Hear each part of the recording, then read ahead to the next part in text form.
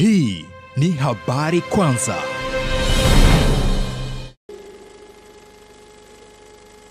kuwa mgombea mwenza kwenye mwaka 2015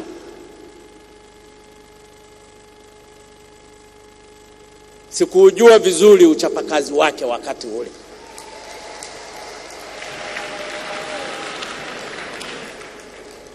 lakini mama huyu, nasema kwa dhati, bila unafiki,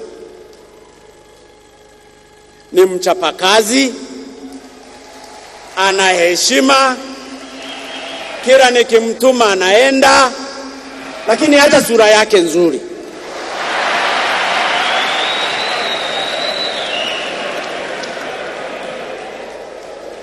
Unajua sisi Wasukuma tunapenda weupe.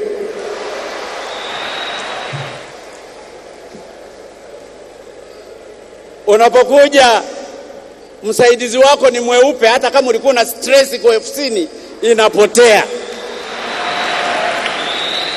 Kwa hiyo nimeamua tena Mheshimiwa Samia ndiye awe mgombea mwenza katika kipindi cha miaka mitano.